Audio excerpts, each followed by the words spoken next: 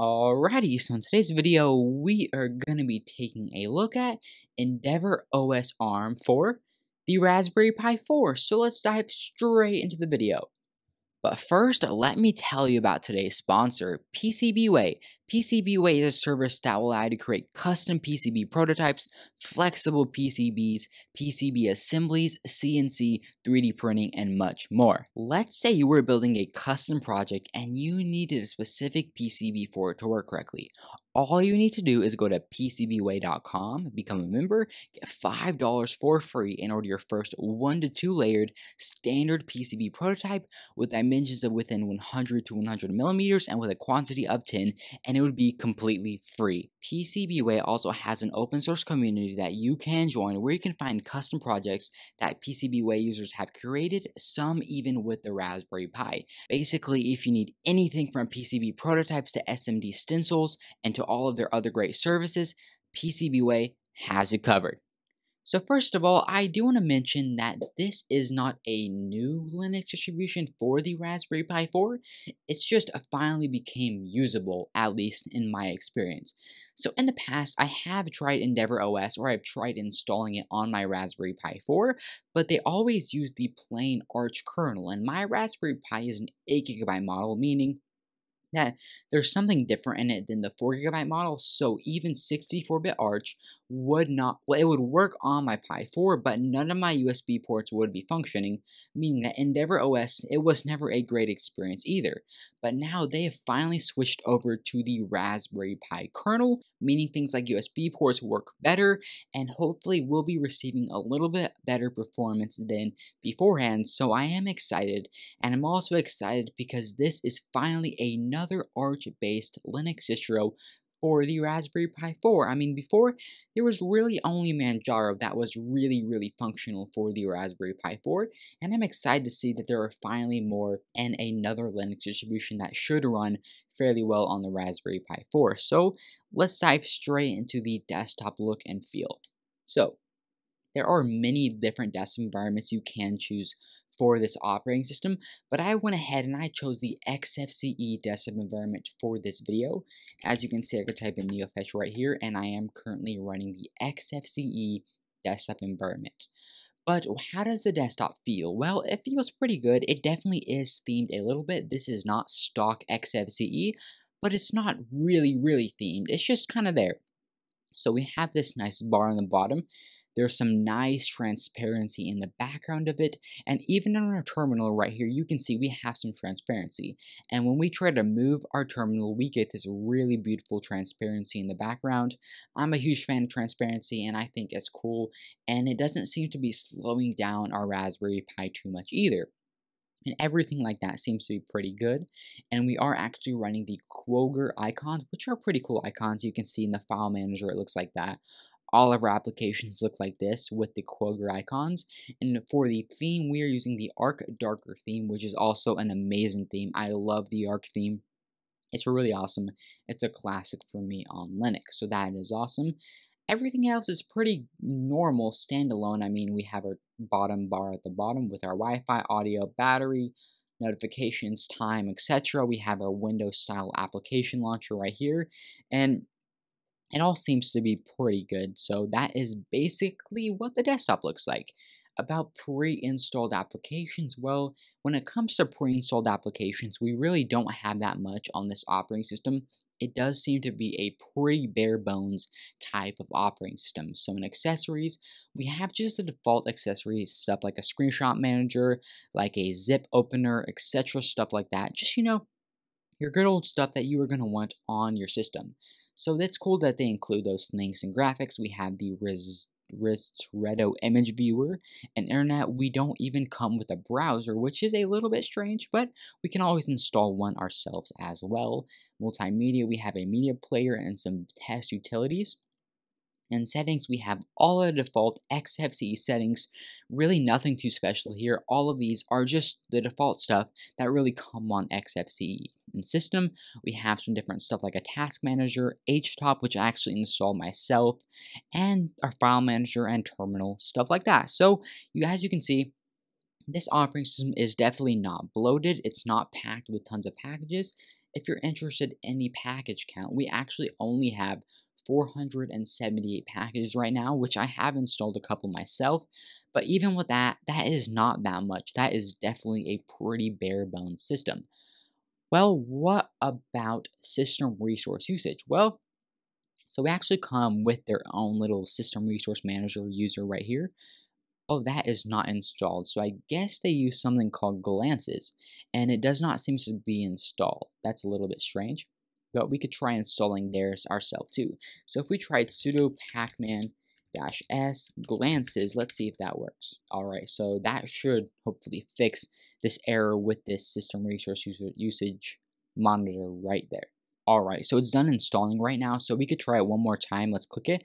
And nope, that just crashed right there. So I don't know, that's not working, but that's okay. We can always type in glances in here and see if that works. I guess glances does not work actually, so I don't know what's going on with that. But we can always go to the good old trusty htop, which will show us as good of information. So right now we are running 538 megabytes of RAM. I would say it's not bad with having transparency in the background. And for most people, that's not going to be too high to actually use on the Raspberry Pi 4. I'd say that's middle ground. You're safe with using this operating system on your Pi 4 with the RAM usage. Even on a 2 gigabyte Pi, you're not going to be hurting too much. So I'd say it's pretty good. Everything else looks pretty good. I don't, doesn't look like we have any swap partitions by default, which is cool. Everything else, pretty awesome. So that is what HTOP is like. What about just day-to-day performance? Like, what would it be like if I'm just trying to switch between apps and do different stuff like that? Well, I do want to include a web browser test in that, and we don't actually have one. So I'm going to go ahead and I'm going to install sudo pacman-s Firefox. I'm going to install the Firefox web browser real fast because we really do need a web browser for this to work correctly. Alright, so we got Firefox installed, so now let's try to open up kind of a few or kind of a lot of applications and see how our system handles it. Does it slow down or is it, does it stay usable? So we'll open up HTOP right here and just have that in the corner right here. We'll just open up a couple of file managers. We'll open up Firefox and we'll try to open up the media player. Like we are really loading the system up. And Let's try to type something in like a Pi 4 in there. We'll have our media player right here. And then we could open up something else too. We could go to graphics, Ristretto image viewer. And I mean, the system is really snappy, honestly. This is a very snappy experience. I'm happy with how this all is playing out. Look at that. The applications are opening up incredibly fast. Honestly, this is amazing performance on a Raspberry Pi, even though I know this is XFCE, it's not a super heavy desktop, but just to compare to some of the other stuff I have tried in the past, this is amazing, and with all these applications open right now, we are using 876 megabytes of RAM, which is not a ton of RAM either. I know these are not really heavy applications, I'm not even looking at an image or I'm not watching a video, but just the overall system, it just feels really snappy, which is really great to see on the Raspberry Pi 4. So that's awesome. What about video playback and web browsing? Well, let's try to open up a few more tabs and see how the web browsing experience is. Okay, so here we have Pi 4. We could go to images.